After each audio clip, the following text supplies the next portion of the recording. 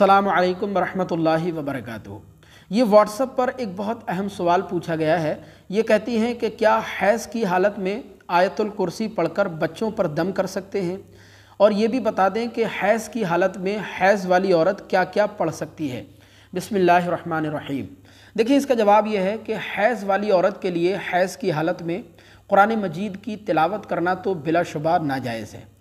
یعنی پیریڈ والی عورت پیریڈ کی حالت میں قرآن مجید نہیں پڑھ سکتی۔ چاہے وہ دیکھ کر پڑھے، بغیر دیکھے پڑھے، چھو کر پڑھے یا بغیر چھوئے پڑھے کسی بھی صورت، چاہے ایک آیت ہی قرآن مجید کی تلاوت کی جائے۔ بہرحال پیریڈ والی عورت کے لیے قرآن مجید کی تلاوت کرنا پیریڈ کی حالت میں جائز نہیں ہوگا۔ باقی اس کے علاوہ کچھ وظیفے یا کچھ دعائیں ایسی ہیں کہ جن کو پیریڈ کی حالت میں پڑھا جا سکتا ہے۔ اگر پیریڈ والی عورت حسن نیت سے پڑھے گی تو انشاءاللہ ثواب بھی ملے گا۔ جیسے پیریڈ والی عورت پیریڈ کی حالت میں اذان کا جواب دے سکتی ہے۔ اس کے علاوہ قرآن مجید کی وہ آیتیں بھی پڑھ سکتی ہے جن میں دعا کا معنی پایا جاتا ہے، جن کو بطور دعا پڑھا جاتا ہے۔ جیسے لا الہ الا انت سبحانک انی کنت من الظالمین، پیریڈ والی عورت اس کو پڑھ سکتی ہے۔ اس کے علاوہ حسب اللہ و نعم الوکیل اس کو بھی پڑھا جا سکتا ہے۔ اسی طرح حیض کی حالت میں لا حول ولا قوت الا باللہ العلی العظیم اس کو بھی پڑھا جا سکتا ہے۔ اس کے علاوہ سبحان اللہ و بحمدہ سبحان اللہ العظیم اس کو بھی پڑھ سکتے ہیں۔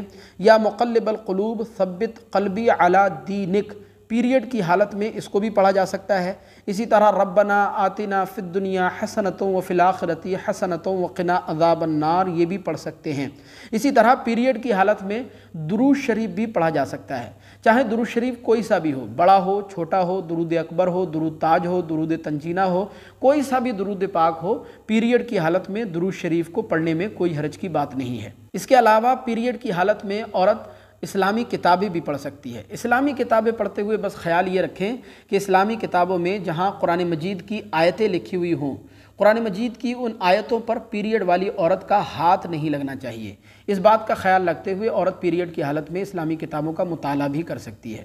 اس کے علاوہ رہی یہ بات جو آپ نے پوچھی کہ پیریڈ کی حالت میں عورت آیت الکرسی پڑھ کر کیا بچوں پر دم کر سکتی ہے، تو بلا شبہ کر سکتی ہے۔